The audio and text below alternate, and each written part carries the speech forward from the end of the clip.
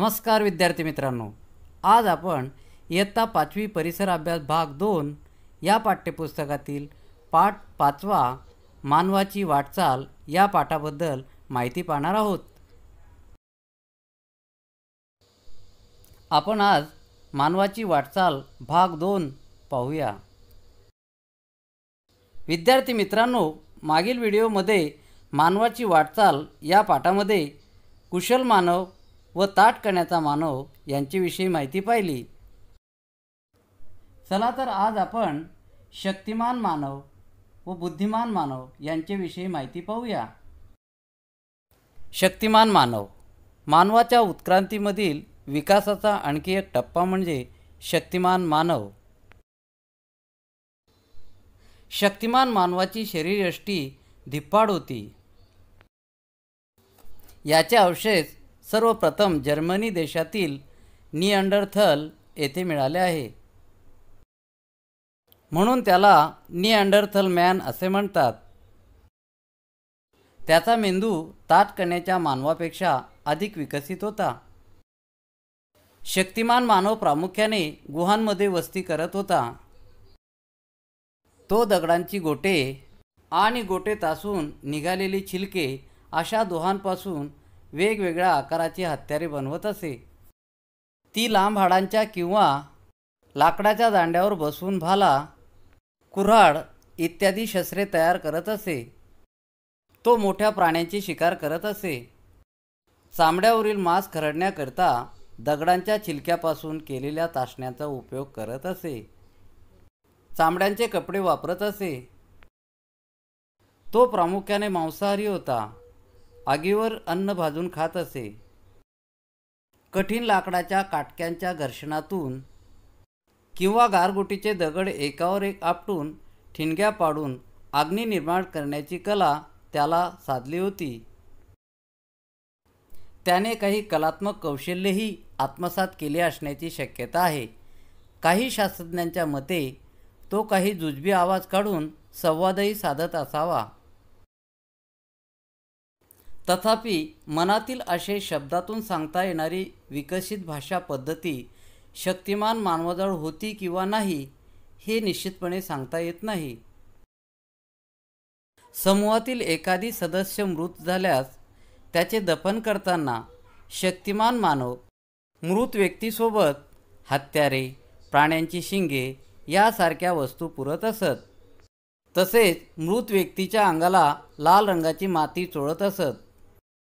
त्यावरून शक्तिमान मानवाच्या काळात मृत व्यक्तीच्या दफनासंबंधीचे काही विधी प्रस्थापित झाले होते असे दिसते.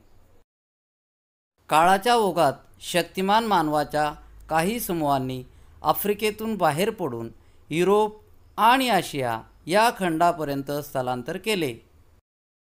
साहजिकच त्यांना भिन्न वातावरणाला तोंड द्यावे लागले. त्यांना जगण्याच्या आणि अन्न मिळवण्याच्या नवीन पद्धती आत्मसात कराव्या लागल्या. त्यामुळे त्यांच्या काळात जगण्यासाठी आवश्यक असलेल्या हत्यारांच्या पद्धतीत सुधारणा झाली. परंतु ती होण्यासाठी हजारो वर्षाचा कालावधी जावा लागला.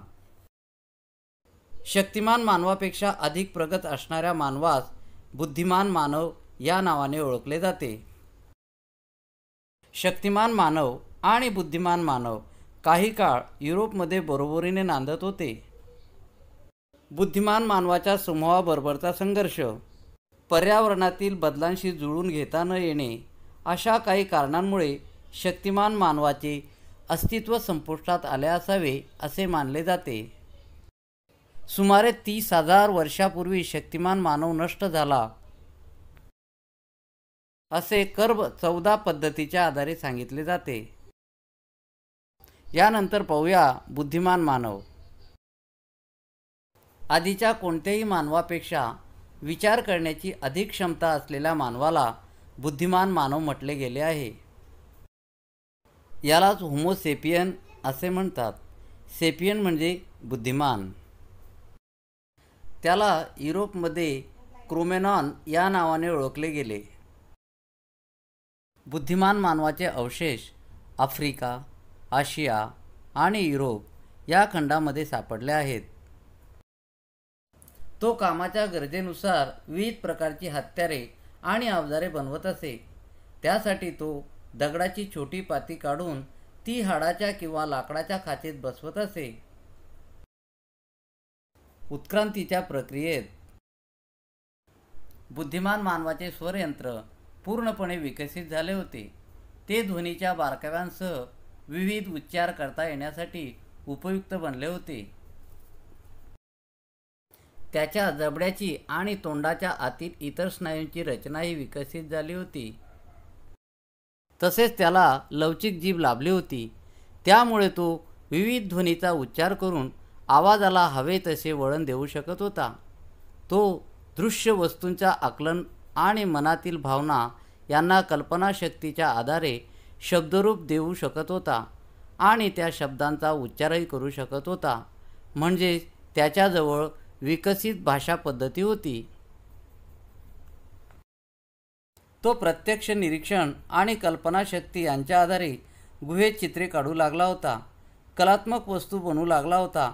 म्हणूनच त्याला बुद्धिमान मानव वा विचार करणारा मानव असे नाव दिले गेले. आता पाहूया प्रगत बुद्धीचा मानव. बुद्धिमान मानवाची वैचारिक क्षमता अधिक प्रगत झाली तेव्हा त्याला प्रगत बुद्धीचा मानव असे नाव मिळाले. त्यालाच होमो सेपियन सेपियन असे म्हणतात. त्याच्या मेंदूची क्षमता आणि त्याबरोबरीने त्याची आकलन क्षमता सतत विकसित होत गेली. प्रगत बुद्धीचा मानव म्हणजे आधुनिक मानव. म्हणजे आपण माणसे रंगरूप आरोग्यविषयक वैशिष्ट्य इत्यादी बाबी त्याच्या पूर्वजांशी साम्य दर्शवणाऱ्या असतात. या बाबींना अनुवंशिकता असे म्हणतात. अनुवंशिकतेचा अभ्यास करणाऱ्या शास्त्राला जनुकशास्त्र असे म्हणतात. जनुकशास्त्रीय संशोधनाच्या आधारे आधुनिक मानवामध्ये शक्तिमान मानवाचा काही अंश असल्याचे आढळून आले आहे. त्याच्या आधारे शक्तिमान मानव आणि बुद्धिमान मानव हे दोघे आधुनिक मानवाचे पूर्वज होते. असे म्हणता येते. इसवीसन पूर्व अकरा हजार ते इसवी सन पूर्व दहा हजारच्या सुमारास आधुनिक मानवाने पशुपालन आणि शेती तंत्र विकसित केले. त्याच्या विकसित वैचारिक क्षमतेमुळे तंत्रज्ञानात सुधारणा होण्याचा वेग सतत वाढत राहिला होता. तो अधिक स्थिर जीवन जगू लागला. शेतीमधील अन्नधान्याच्या उत्पादनामुळे त्याच्या अन्नात पिष्टमय पदार्थांचा समावेश झाला. त्यामुळे त्याच्या आहारातील कार्बोदकाचे प्रमाण वाढले. जीवन पद्धतीत आणि आहार पद्धतीत झालेल्या बदलामुळे हळूहळू त्याच्या पूर्वीची धिप्पाड शरीरयष्टी बदलली. त्याच्या चेहरेपट्टीत बदल झाला.